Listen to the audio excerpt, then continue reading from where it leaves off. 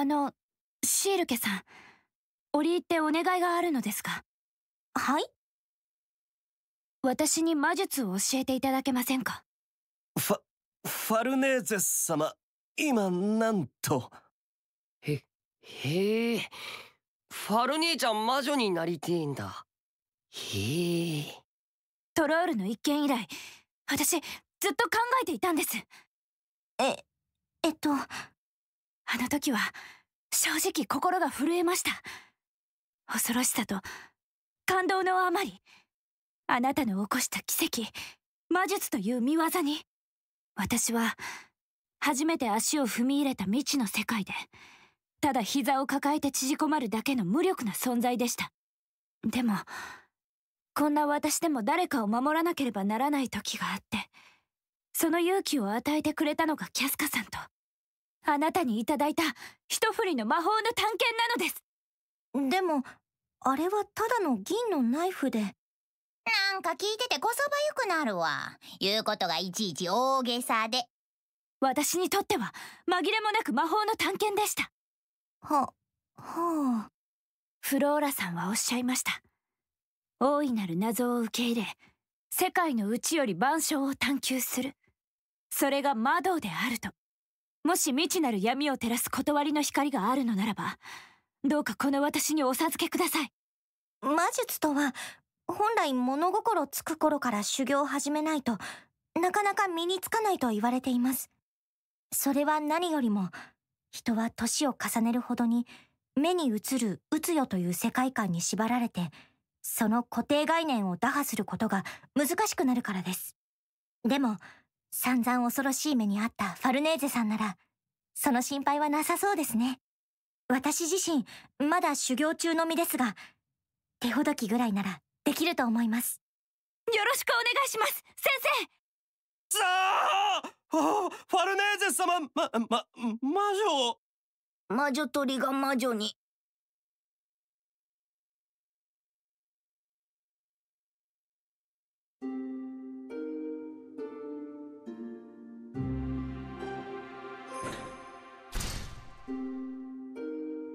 いししファル姉ちゃんらは水浴び中。ここは子供の特権を使って一緒に。やば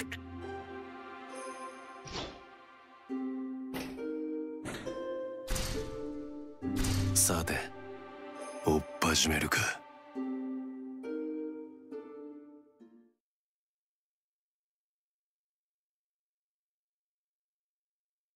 ブイヤベース風磯鍋です。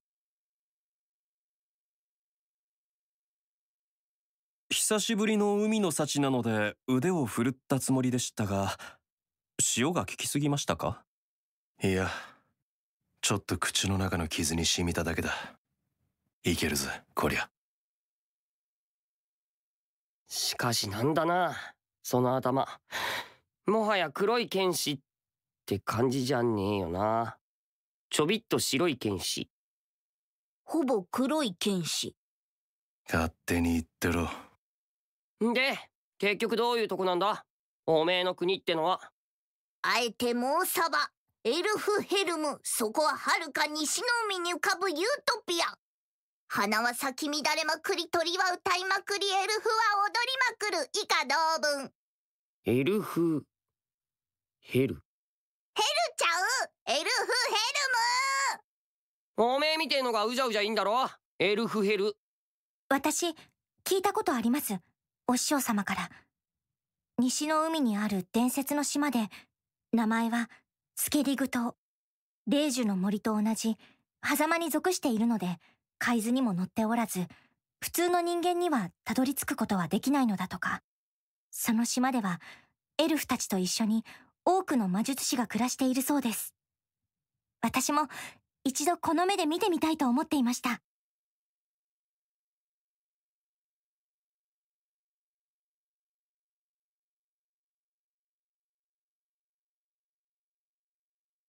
どうしました？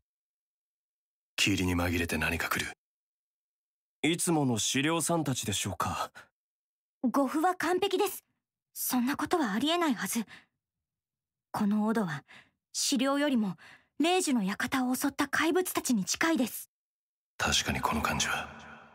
死と来ます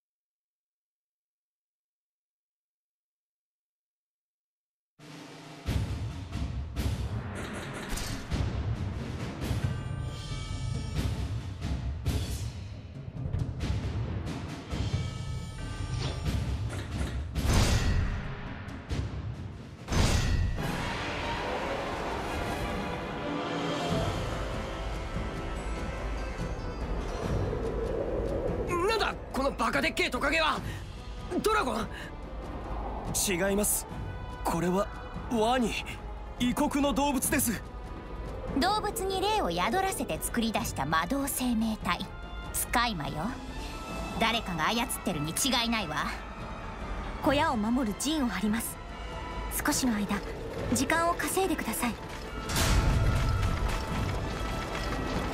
今夜は満月魔術の力が最も発揮されます。ここが聖地でなくても陣を張れるのです。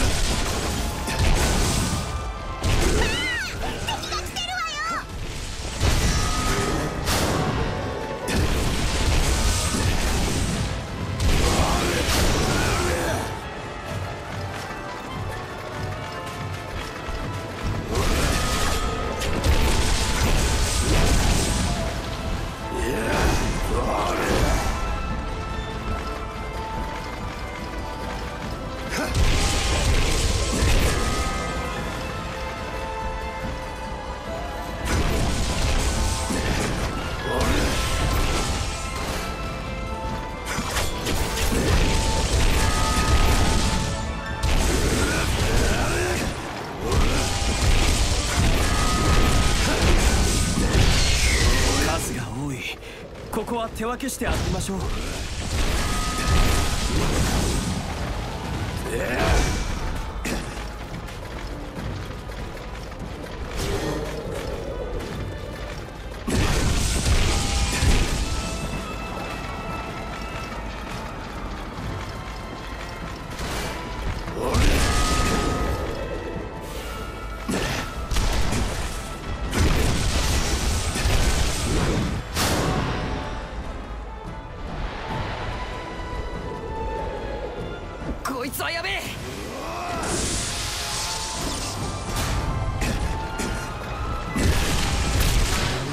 のか？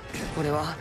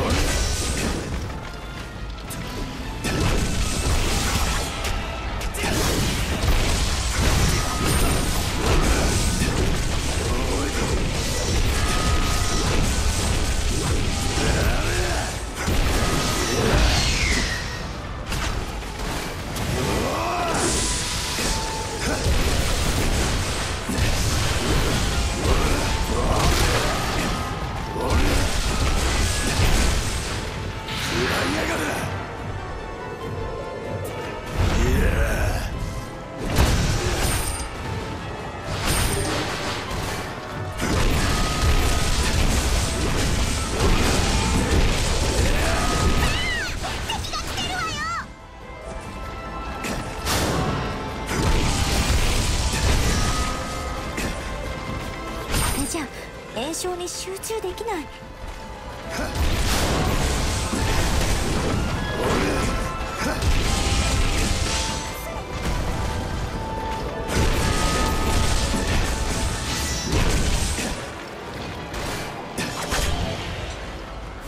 今度はちゃんとやんなさいよ。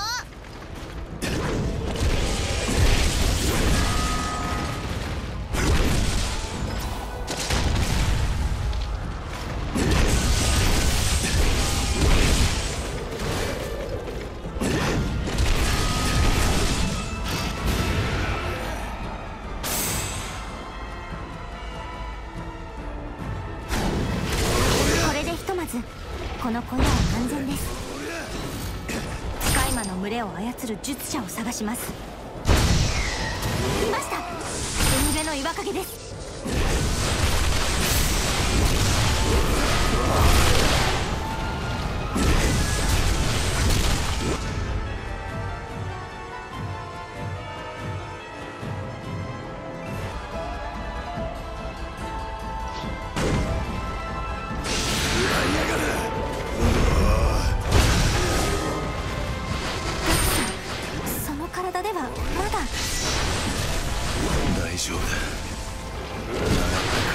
ぐすにはちょうどいい。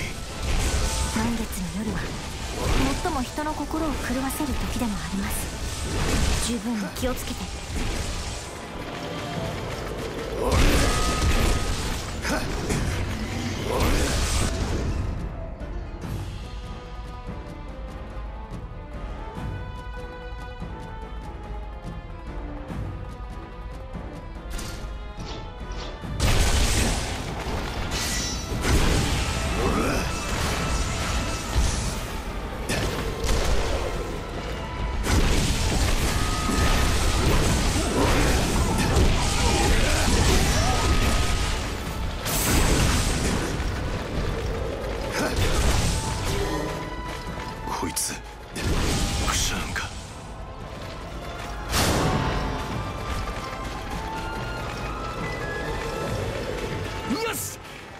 なら今だ。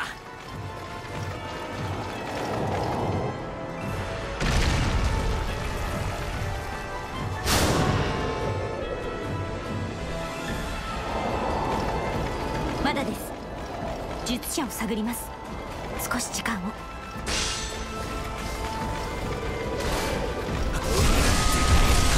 いました。洞窟の中とその先の浜です。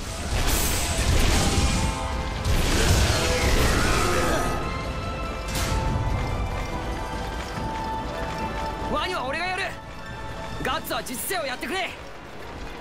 使い魔は肉体を持った存在なので防壁の効力には限界があります。気をつけて。中は暗いな。迷子にならねえよう気をつけろって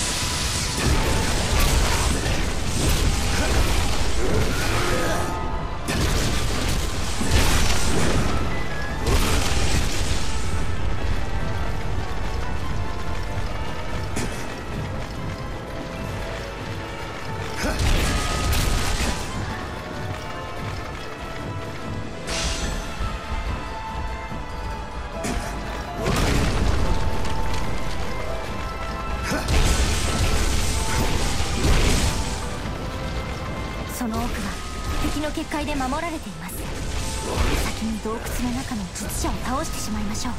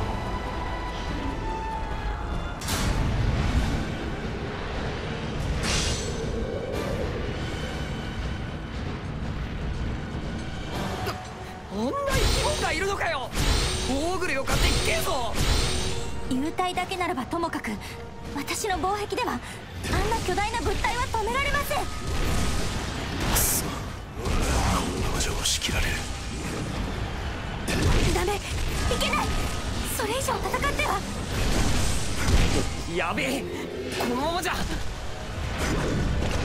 ガッツさん。やべえ。出ちまった。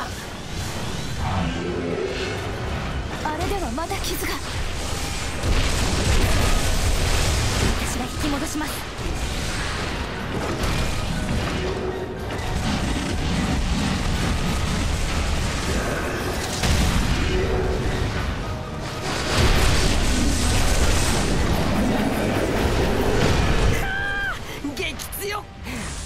人間離れしてな。けどえげつねえ戦いっぷりだな。伝説によれば狂戦士と呼ばれる者は味方にとっても恐怖の対象だったそうです。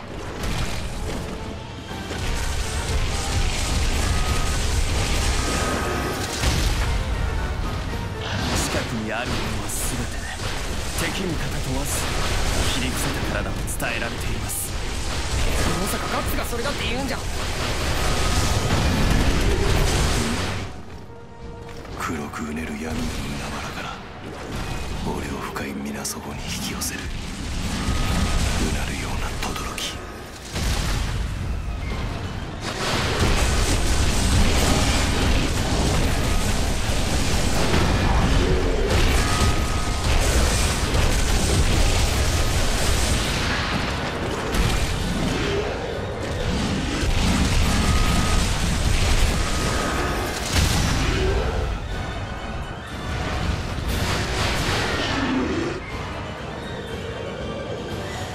倒しましたけれどこちらのことが分かってない。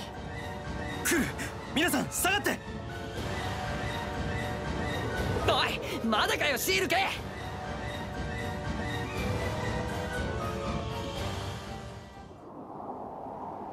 ガッツさんガッツさん。光水面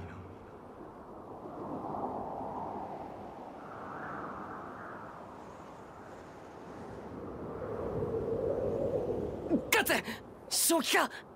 ざまあね。え結局あいつの言った通りかよ。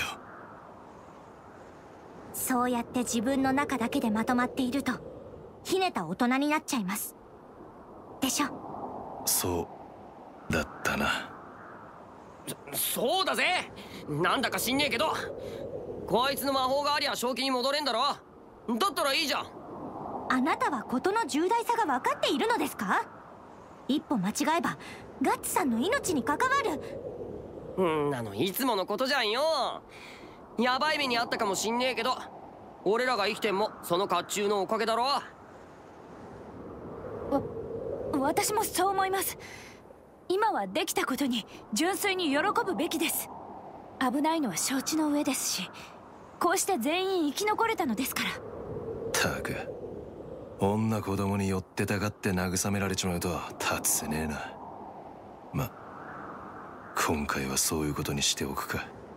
あとほんのわずかで俺は。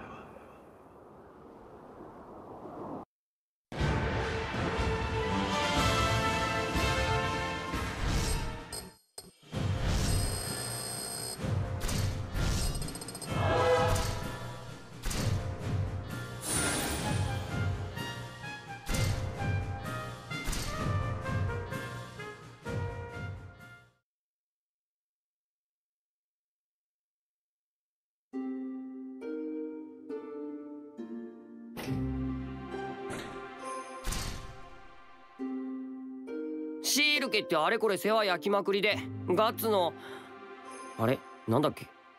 女房？みたいだよな。何を言ってるんですか？この猿は。バカバカしい。あまりくだらないことを言ってると燃やしてしまいますよ。母ちゃんみたいって言おうとしたんだけど言っちまった。なんだあれ？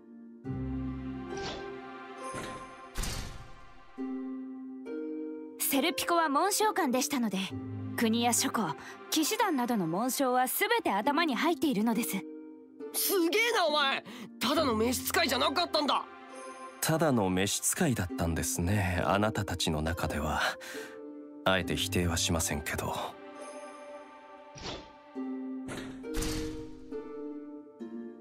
思い描いてください。今見ていたもののイメージを。これは魔術師になるための初めの一歩です魔術は呪文や象徴に呼応させてイメージを連鎖することで初めて効力を持つものなのです。ものを具体的にイメージできれば私にも魔法が使えるようになるのですね。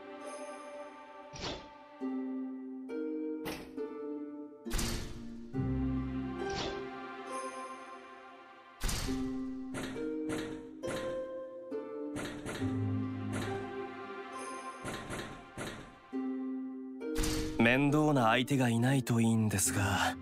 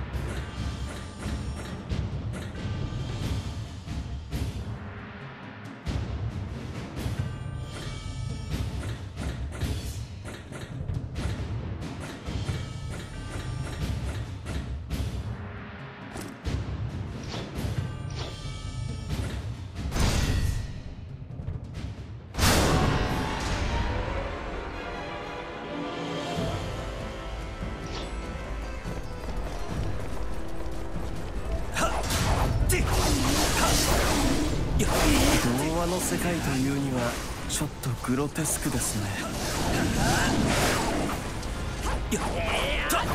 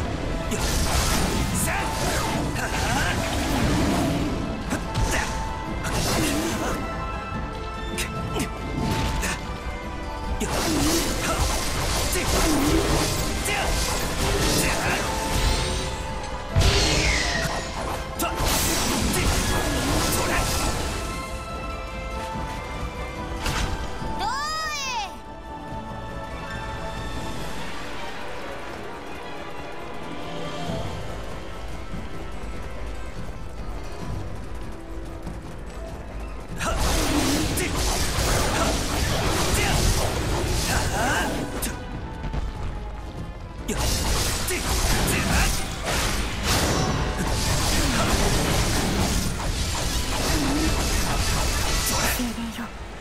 私に力を貸してください。頼みます。精霊さんたち。さ精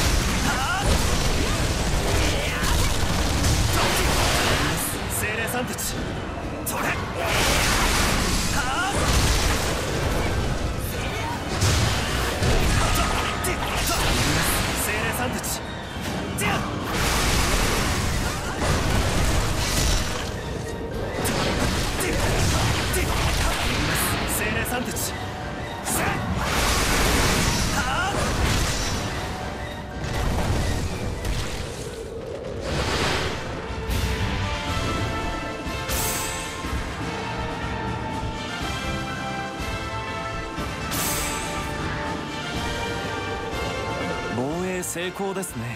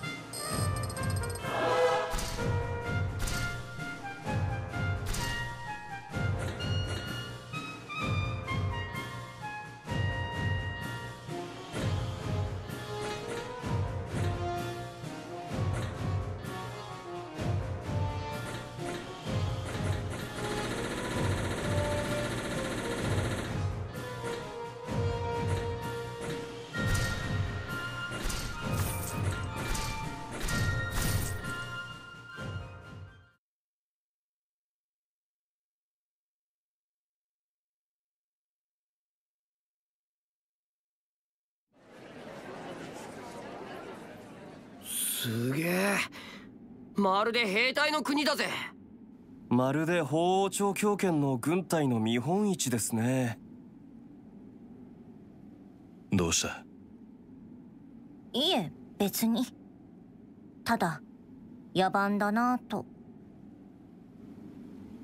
この物騒なきな臭さ。体に馴染む古巣の匂い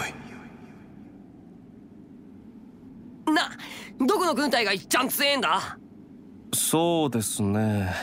装備を見ればチューダーなのでしょうが動員できる兵隊の数も見なければなりません。それに団長の素質が問われますね。頼りになりそうか兵を惜しんでくれそうか。要は強くって人に慕われるカリスマ団長ならいいんだ。男なら己の腕一本で成り上がるもんよそうそう一人いましたカリスマ。グリフィス卿率いた傭兵団は鷹の団百年戦争において無敗を誇り戦乱を終結に導いた伝説の傭兵団の団長です。もうそれなら俺も知ってぜ。男の常識。そのグリフィスってのもすげえけどよ。鷹の段のなんとかっつう切り込み隊長がアホみてえにどつええのよ。なんせ一人で100人から1000人からぶった切っちまったんだからよ。しかし皮肉なことにそのグリフィス教と国王との確執がミッドランドが今日に至る運命の原因だとも言われています。大乱が始まろうとしていた。やがて町を包み込むだろう恐怖の霧は海より迫っていた。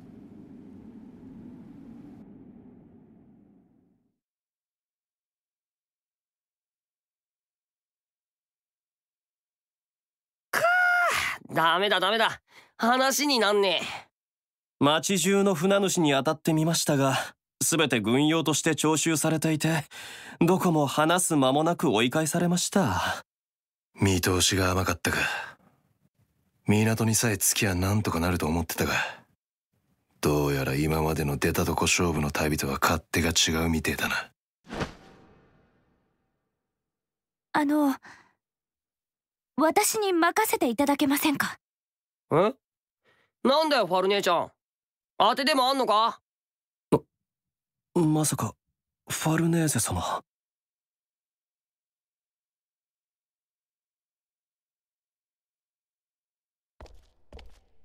ちょっと出かけてきます。セルピコ。